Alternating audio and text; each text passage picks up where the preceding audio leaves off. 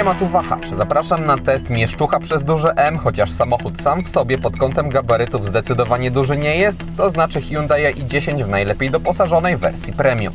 Startujemy! Od wyglądu samochodu w pokroju Hyundai i10 nie oczekuję elegancji, bo trudno jest ją zawrzeć w tak małym nadwoziu. Spodziewam się za to, że będą one prezentowały się dziarsko i że swoją stylistyką będą miały potencjał, by wywołać uśmiech na twarzy i w tych kwestiach testówka wypada moim zdaniem świetnie, bo jest to szalenie sympatyczne i takie żywe z wyglądu auto.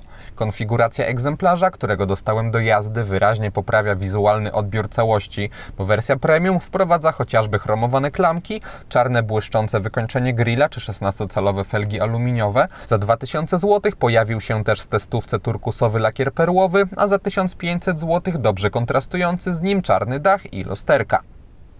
Nudno nie jest też w kabinie i10, gdzie mamy sporo całkiem wymyślnych, ale finalnie zgrabnie komponujących się ze sobą kształtów. Odbiór całości poprawiają też moim zdaniem jasne wstawki ożywiające wnętrze. Pozytywnie oceniam również klasyczne i intuicyjne rozmieszczenie instrumentów pokładowych.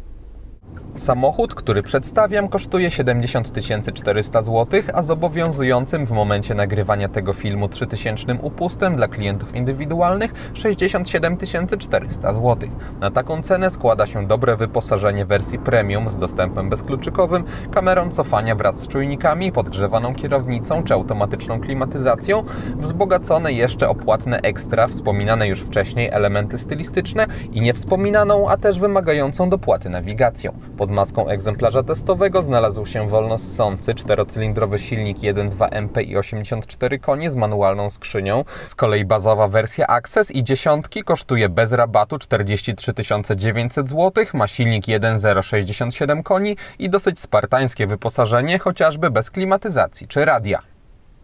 Jak na auto tego typu przystało, testowanym Hyundaiem kręciłem się głównie po mieście i już od pierwszych kilometrów moją uwagę zwrócił czuły pedał gazu, przez co na początku ruszając samochód wkręcałem na zbyt duże obroty niż trzeba.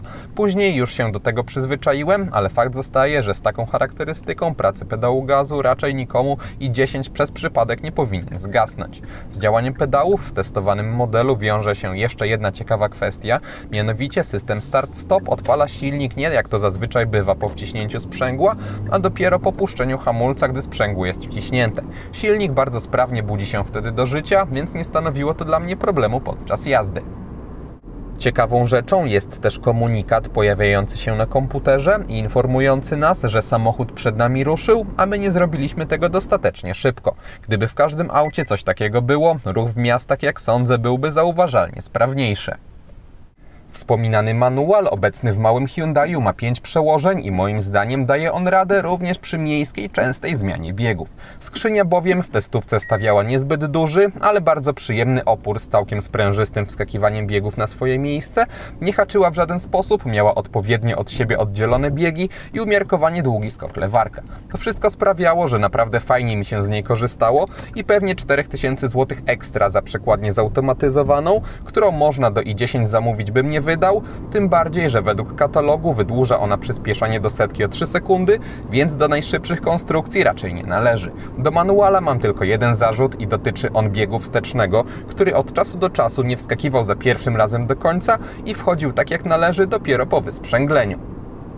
Silnik i10 w warunkach miejskich też dawał radę, bo może nie jest on jakimś sportowcem. W wersji z manualem jego czas sprintu do 100 km na godzinę wynosi 12,6 sekundy, ale przy bardziej punktowym przyspieszaniu i niższych prędkościach zapewniał mi on wystarczającą dynamikę, aby sprawnie przemieszczać się w mieście. Dzięki temu, że 1.2 MP i to czterocylindrowiec, nie narzekałem też na jego kulturę pracy, ponieważ spokojnie mogłem trzymać obroty, nawet poniżej 1500 i silnik nie wydawał nic dźwięków, ani też nie wpadał w wibracje. Elastyczność jednostki napędowej też była wtedy niezła, to znaczy przy mocniejszym przyspieszaniu wypadało ją mocniej pokręcić, ale na jakieś lekkie zwiększanie prędkości niskie obroty wystarczały, więc moim zdaniem do miasta nic więcej pod maską nie trzeba.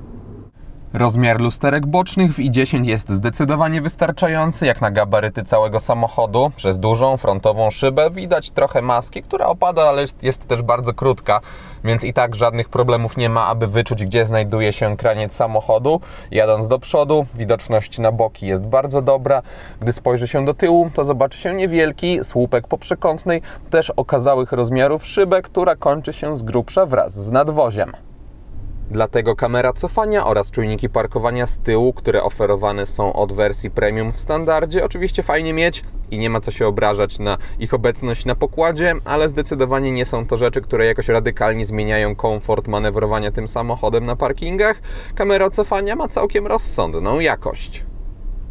Długość nadwozia i10 wynosi 367 cm, a szerokość to 168 cm, więc takimi wymiarami praktycznie wszędzie da się nim wcisnąć, a nieraz na parkingach koło jakichś korwiastych suwów testowany model wyglądał wręcz jak zabawka. Niemniej jednak jazda tak małym autem w mieście zapewniała mi duży komfort psychiczny i dawała też sporo frajdy, tym bardziej, że układ kierowniczy w testowanym Hyundaiu pracuje lekko i całkiem żwawo, w sposób, który ułatwia wykonywanie miejskich manewrów, a samo samochód ma dobry promień skrętu. Kończąc omawianie wrażeń z miejskiej jazdy, jeszcze dopowiem, że przejeżdżając po centralnych częściach Warszawy w dzień pracujący około godziny 15 samochód spalił mi średnio 5,7 litra na setkę.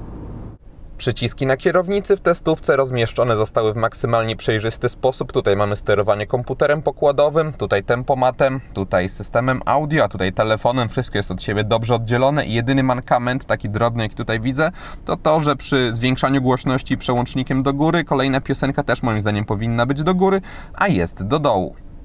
Zanim pokażę bliżej komputer, chciałem zwrócić uwagę na to, co się dzieje wokół niego i na tarczę zegarów ze srebrnymi obwódkami, a także znajdującymi się w środku niejako wyścigowymi takimi szachownicami. Dla mnie prezentuje się to naprawdę super.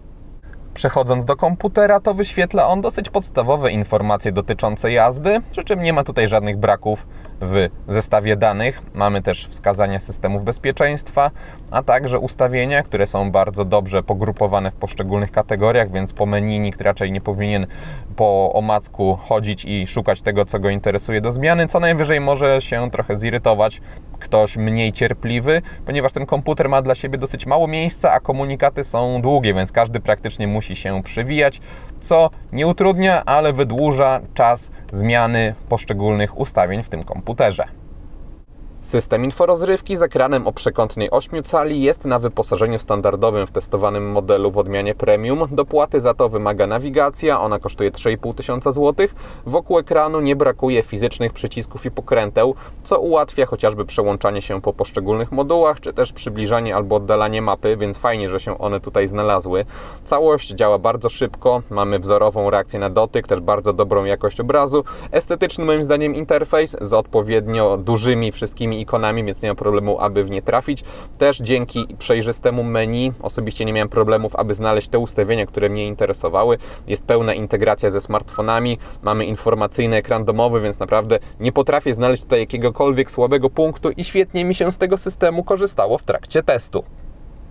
Pomimo typowo miejskiego charakteru i dziesiątką postanowiłem wybrać się również w trasę, którą teraz widzicie na ekranie, symulującą taki zwykły wyjazd gdzieś poza teren zabudowany. W takich warunkach testowany Hyundai najbardziej zapunktował u mnie pracą zawieszenia. Przez krótki rozstaw osi samochód oczywiście nie zachowywał się tak dostojnie jak jakaś o niemal 1,5 metra dłuższa limuzyna, ale nierówności pokonywał cicho i bardzo kulturalnie, a na dodatek dzięki miękkiemu zestrojeniu pracy amortyzatorów i tak zapewniał mi odpowiedni komfort na gorszej nawierzchni. Konsekwencją takiej charakterystyki były pojawiające się przechyły w zakrętach, które podczas normalnej jazdy nie przeszkadzały, ale też skutecznie zniechęcały aby pojechać ostrzej. Układ kierowniczy w takich warunkach stawiał trochę większy opór i wygładzał się podczas jazdy na wprost, ale wciąż czułem w nim porcję znanej z miasta żywiołowości. Jadąc z wyższymi prędkościami zaczęły uwypuklać się ograniczenia silnika, bo aby osiągnąć jakąś przyzwoitą dynamikę wymagał on już mocniejszego kręcenia w okolice minimum 2,5 tysiąca obrotów, a i tak wtedy nie oferował żadnego mocnego przyspieszenia, przy czym tutaj wszystko zależy od perspektywy, bo podczas podróży zgodnej z przepisami dla mnie dynamika była odpowiednia do tego, aby bez problemu trzymać tempo, czasami kogoś wyprzedzić i bezpiecznie dotrzeć do celu. Jeśli ktoś jednak ma duży temperament za kierownicą albo jeździ z większym obciążeniem, dodatkowymi pasażerami, to 84 konie generowane przez 1.2 MPI będą dla niego niewystarczające. Za to na spalanie silnika raczej nikt nie powinien narzekać, bo po kilkudziesięciu kilometrach jazdy pozamiejskiej komputer pokładowy pokazywał średnie zużycie paliwa wynoszące 4,2 litra na setkę. Po wyjeździe na drogę szybkiego ruchu nie odczułem specjalnych problemów ze stabilnością, bo i dziesiątka zachowywała się pod tym kątem ok, jak na swoje małe rozmiary, nie myszkowała na pasie i przez grubsza bezwietrznym dniu nie wymagała żadnej większej uwagi.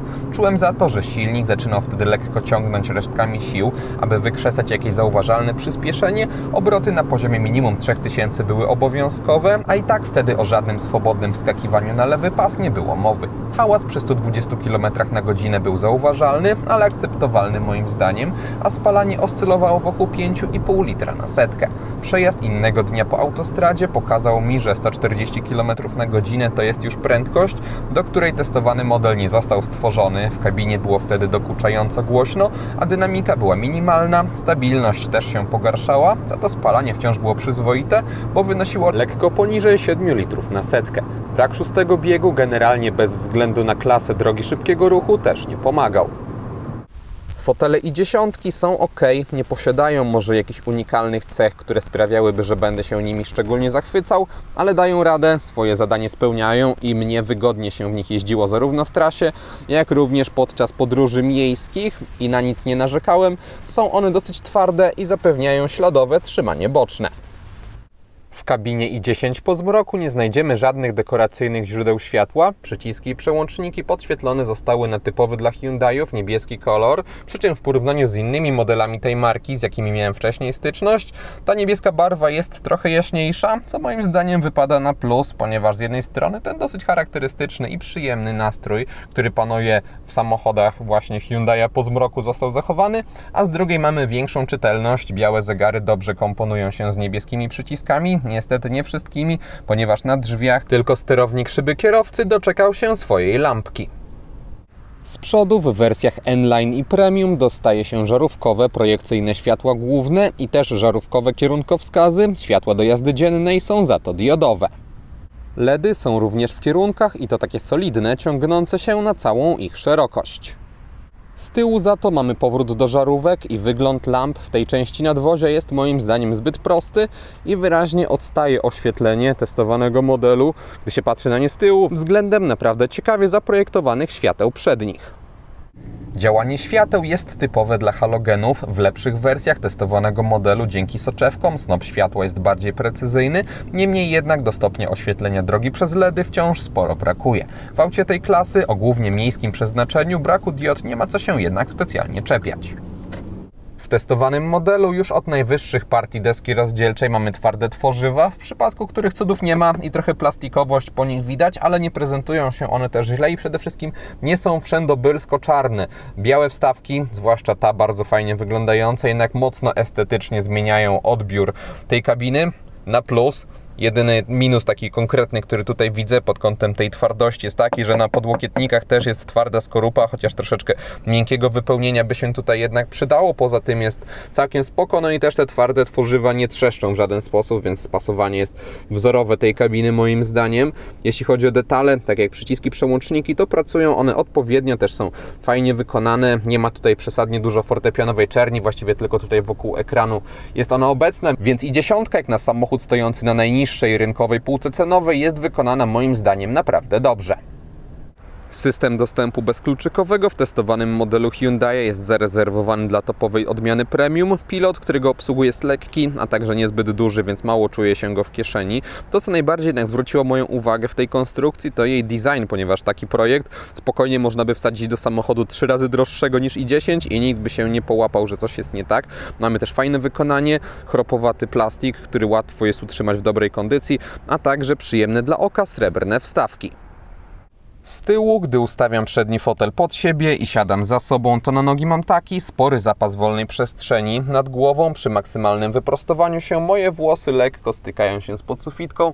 W bardziej naturalnym ułożeniu ciała już kontaktu nie ma, więc spokojnie mógłbym sobie tutaj podróżować. W drugim rzędzie, również centralnie, ponieważ tunel środkowy jest w testowanym modelu w niewielkim stopniu zaakcentowany, no ale też ten samochód nie jest zbyt szeroki, więc te trzy osoby w drugim rzędzie siedzeń trzeba w nim traktować jako ostateczność. Tylna kanapa prezentuje się tak, nie jest ona wyposażona w żaden rozkładany podłokietnik. Bagażnik prezentowanego modelu ma pojemność 252 litrów i niewielki otwór załadunkowy. Nie znajdziemy tutaj praktycznych dodatków w postaci haczyków na torby z zakupami, czy też kieszeni w nadkolach, co przy rozmiarach i wysokości tej przestrzeni nie miałoby w sumie zbyt wiele sensu. Pod podłogą egzemplarza, który dostałem do jazdy, znalazł się zestaw naprawczy, ale ponieważ jest pod nią miejsce na dojazdowe koło zapasowe również, to mamy tutaj obecny również spory schowek. Po złożeniu oparć tylnej kanapy zdolności ładunkowe samochodu rosną do 1050 litrów, gdyby się go załadowało po dach. Przestrzeń, którą się wtedy uzyskuje, ma praktycznie idealnie płaską podłogę. Hyundai i10 to samochód doskonale radzący sobie w miejskich warunkach i fajna odmiana od dominujących rynek kompaktowych crossoverów. W paru obszarach pozytywnie zaskakuje on też swoją dojrzałością, np. w kwestii obsługi, projektu wnętrza czy przestronności przedziału pasażerskiego. Jeśli komuś wystarczy oferowany w testówce silnik, to z wyposażeniem wersji premium, które wymaga zapłacenia niemałej kwoty, ale zawiera już bardzo dużo dodatków na pokładzie, bez większych problemów i dziesiątkę taka osoba będzie mogła traktować jako bardziej uniwersalne auto, nie tylko do miasta. Jeśli komuś 1.2 MPI nie wystarczy, to powinien zwrócić swoją uwagę na odmianę N-Line, do której zamówić można stukonne i bardziej dynamiczne 1.0 TGDI. Przy czym bez względu na silnik, testowany Hyundai w swoim naturalnym środowisku, czyli w mieście, na pewno nie zawiedzie oczekiwań. I to wszystko, co przygotowałem o i10. Dziękuję za uwagę i mam nadzieję, że jej test się podobał. Jeśli tak było, zachęcam do dania temu filmowi łapki w górę. Będzie mi z tego powodu bardzo miło. A jeśli ktoś nie ma, zapraszam również do subskrypcji kanału, ponieważ kolejne materiały na Wahacz TV pojawią się już wkrótce. Na razie.